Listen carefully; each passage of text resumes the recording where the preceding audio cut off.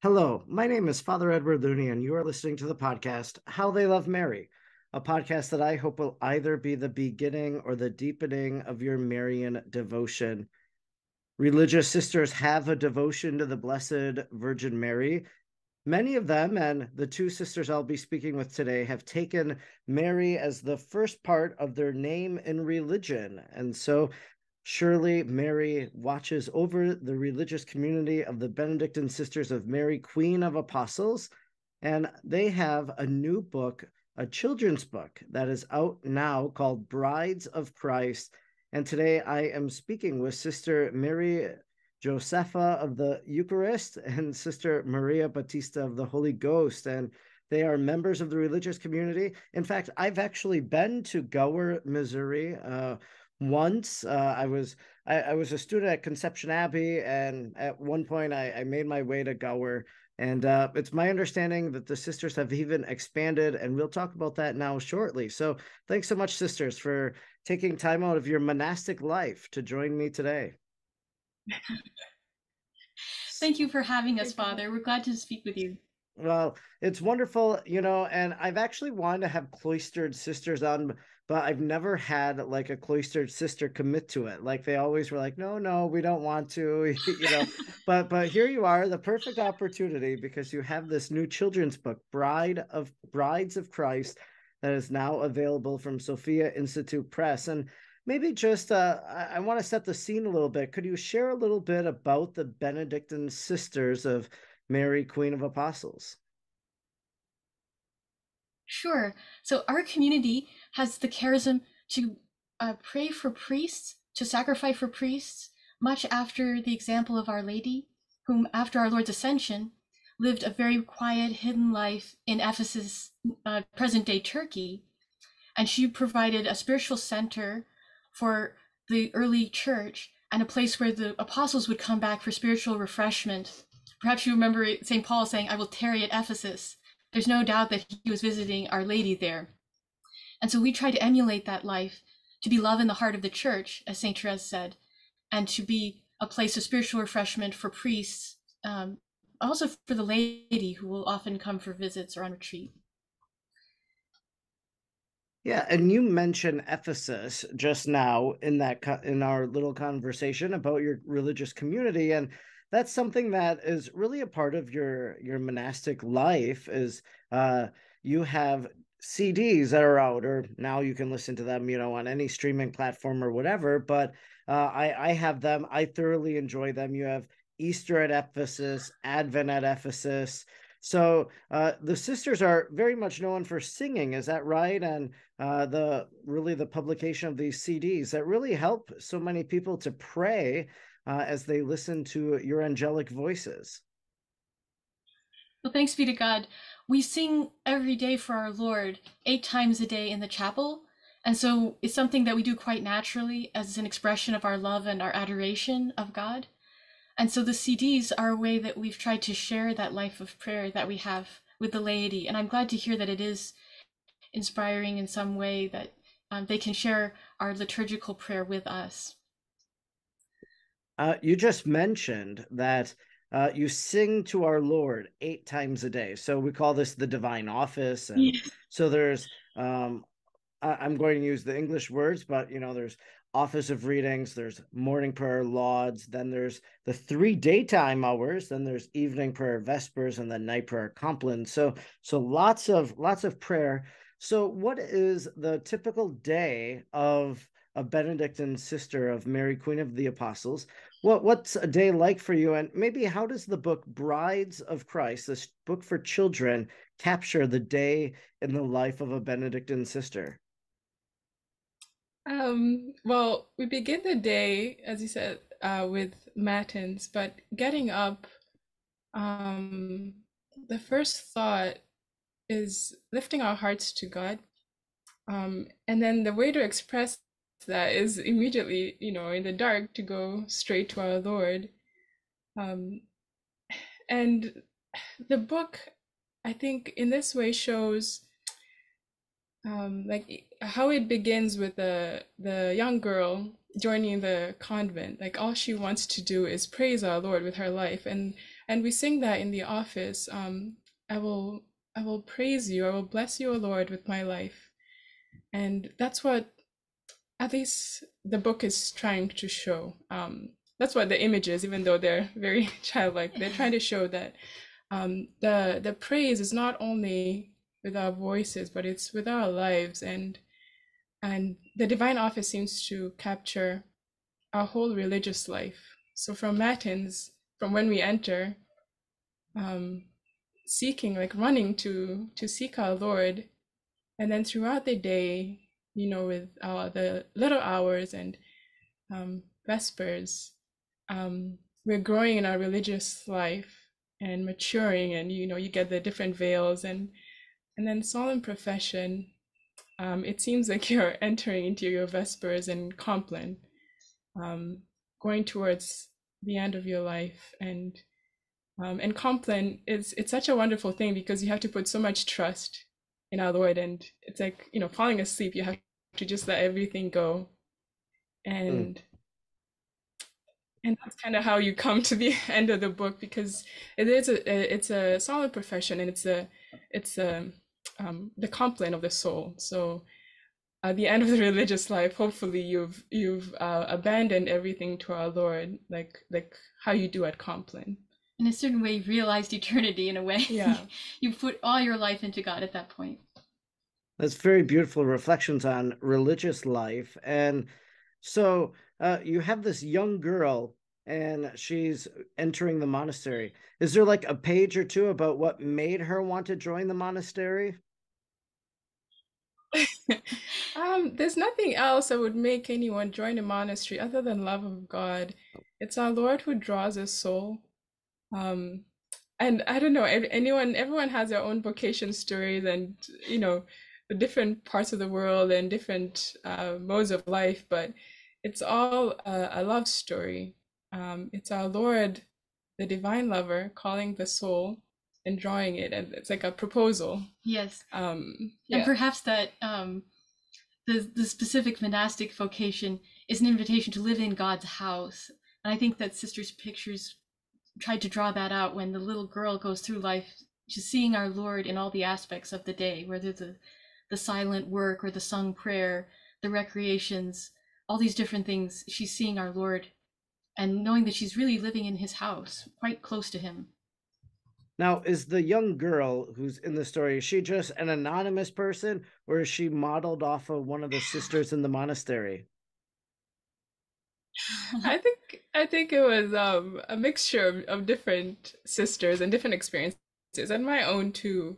Um, I think we all had that like longing even just for the first um, uh, the, for becoming a postulant. Just a small step of just becoming one of the sisters or you know going from your lay clothes to just all black. It, it's it's a it seems like a small step but it's really um uh, it steps becoming to becoming one of the benedictines of mary and placing yourself under the care of our lady. And that's when you receive the miraculous medal and it's it, it seems like a small thing that you get your miraculous medal but it's really our lady taking you under her mm-hmm. mantle I think that each of us could look at the pictures of the little girl and think, yes, that was how I felt. That was how mm. I felt. Yeah. Now, there are specific pictures that we can point to and say, now that's sister so and so. Because sister so and so used chainsaw. Yes. Or the, the whole mopping incident with the sisters bonking into each other, that was not made up. That was no, a real incident. That was, that was a real incident. Inspired by true events. yes. Indeed. Very and, true. and also the, the, the little, the postulant with the veil Oh, the cow, the, the little cow calf, eating the veil, uh, chewing on the veil. That's a true story. So there's not a lot of poetic license in that book. Yes. Sure. So tell me, what what time do the sisters wake up, and what time is your first prayer in the day? Our first prayer is about 5 a.m. We get up a little bit before 5. And as Sister said, we go right to the chapel and begin our sung prayer. And actually, the first three hours of the day are a very sacred time of prayer. So we go from the sung prayer of the divine office to private prayer and Lectio Divina, and then go back for more sung prayer. And that's the first three hours of the day. And then after that, we go to our various duties, whether in the kitchen or the garden or the sewing room. And all of that work we try to do in silence. Um, there's a little bit of talking maybe to give directions. Yeah. To say, sister, will you please get the veil out of the calf's mouth? Yeah. or something like that. But again, we try to keep the silence so that we can continue to talk with God in our hearts throughout the day and we continue to listen for his voice. Our meals are taken in silence. So there's a picture about the monastic meal, I think. Um, you see the sisters being served and another sister reading while the sisters are eating. Um, and that's to remind us that even when we take physical nourishment for the body, we can't leave off the spiritual nourishment for the soul. So we listen to um, Life of a Saint or some other spiritual book. Um, we do have an hour a day when we talk. Uh, so that's our recreation. And it might be we go for a walk or we do some manual work. But either way, the important thing is to talk for recreation and laugh. And laugh. We've heard it said you can judge the health of a religious community by how loud its recreations are. So okay. we like to think that ours is a healthy community.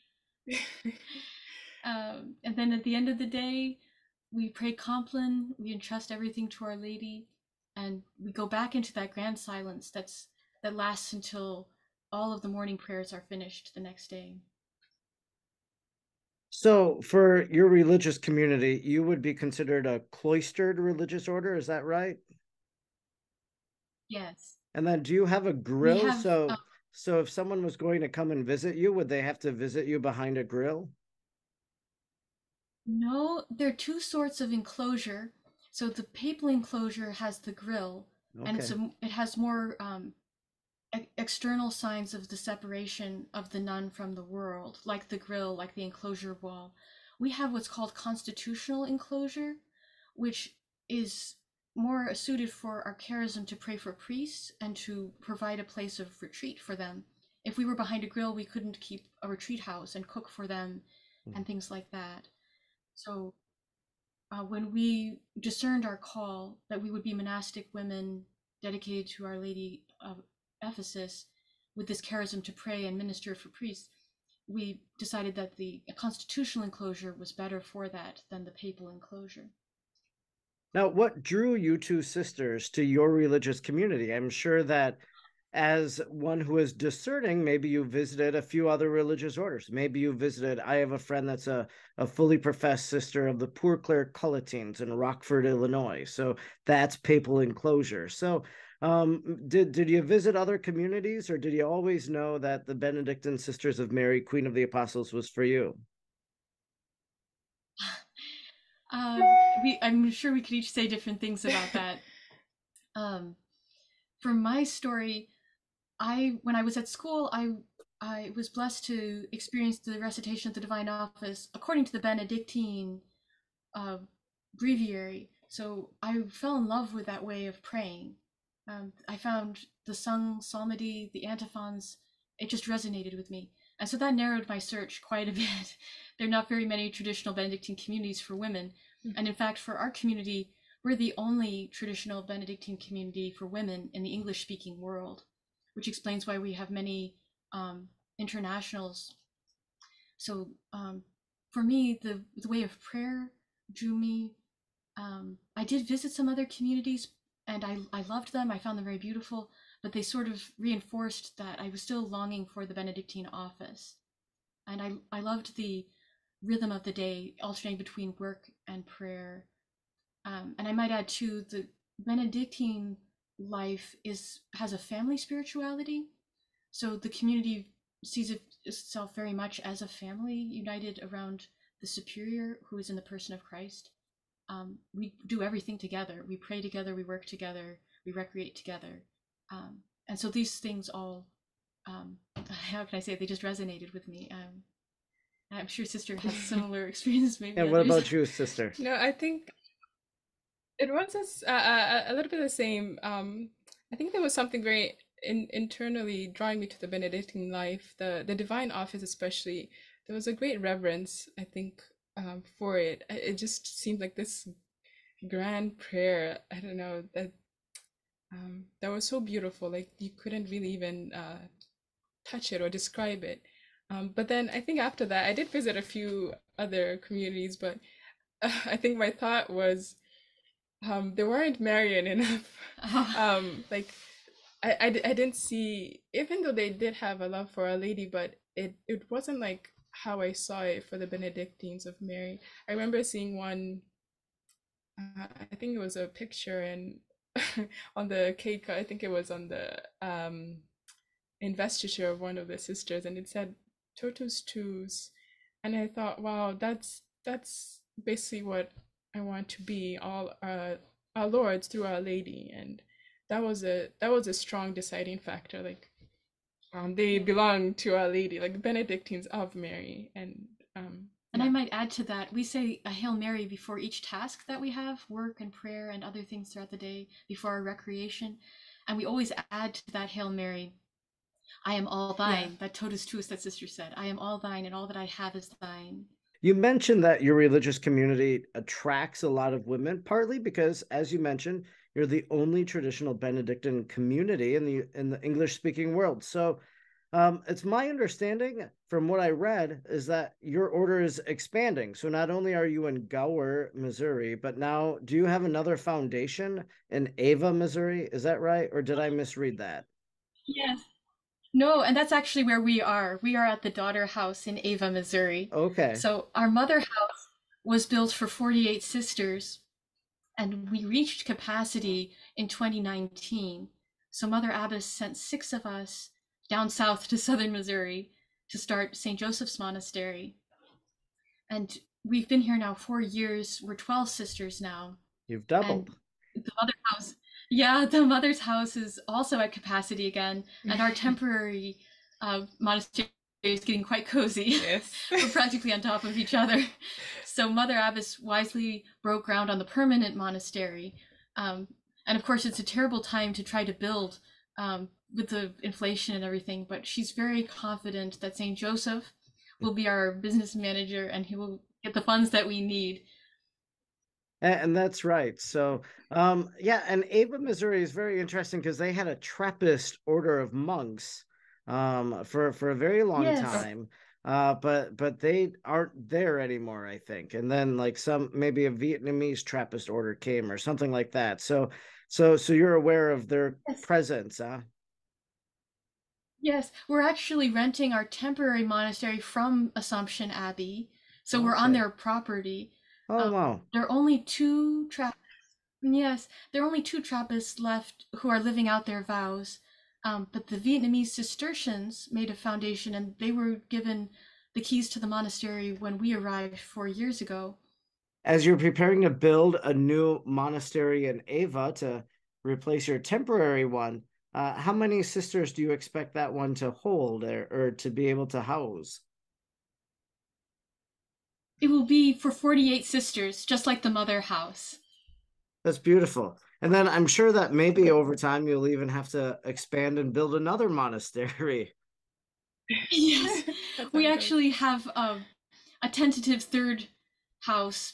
It's not a permanent house yet, but the Bishop of Wichita invited us to have a presence in his diocese. Oh, so some wonderful. of the sisters from Gower will go to Wichita. Yes, it's not a permanent foundation yet, but there'll be six of them praying at a, a little house that he has there. Um, so it's it's the beginnings. well, how beautiful. So uh, I, I guess too, as you've written, the order has written, and and there was another person that collaborated, uh, a, a layman, from what I gather. Uh, why was it that the sisters felt called to write this children's book? Why why put this book out there and get it in the hands of young readers? Well, Sister Maria Batista has always liked to doodle, and she has a, a, gift, I think, for capturing the joy of our life.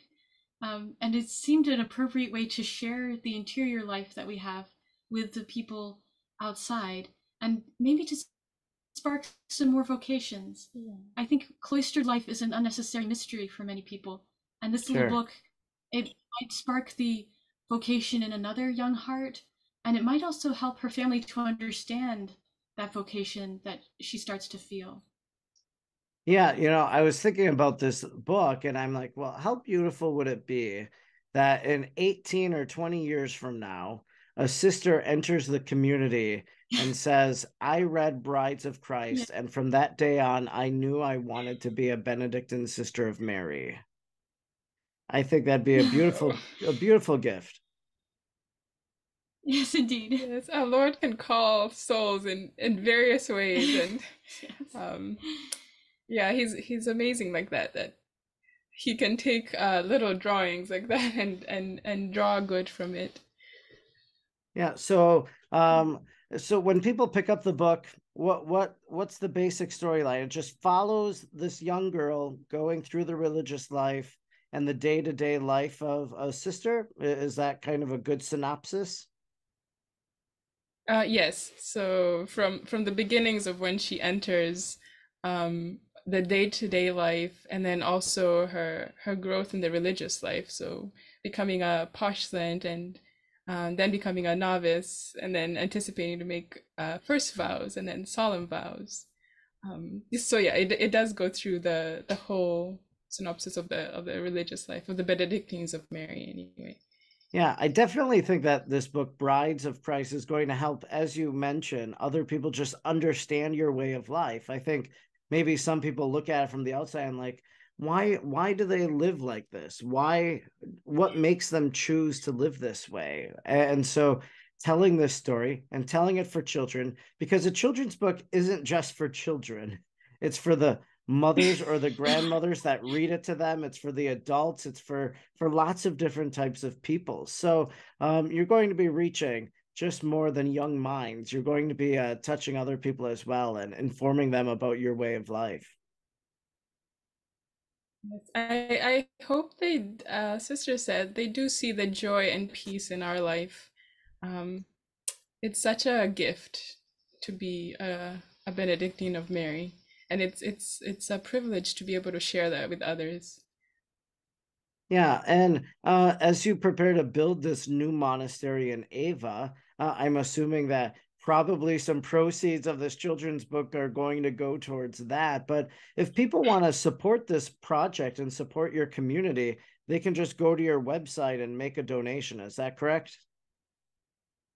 Yes and there are many um, there are many ways to support us. As the website shows there's um, we have the cds the book that's just been released and some other uh, gift shop type things. There's also the vestments that we make for priests. That's the way we support ourselves by the work of our hands. Um, and then there are different commemorative opportunities also for the new monastery. If people wish to sponsor part of the building or have their name on the sponsorship plaque or even to have um, fathers and grandfathers, spiritual fathers remembered at the father's shrine. Perhaps you've heard the our monastery will have the national shrine for fathers joined to it. At the monastery of St. Joseph, it seemed appropriate to have this commemorative opportunity for fathers. So this oh, wow. would be a way to have your loved ones remembered in the prayers of the Benedictines.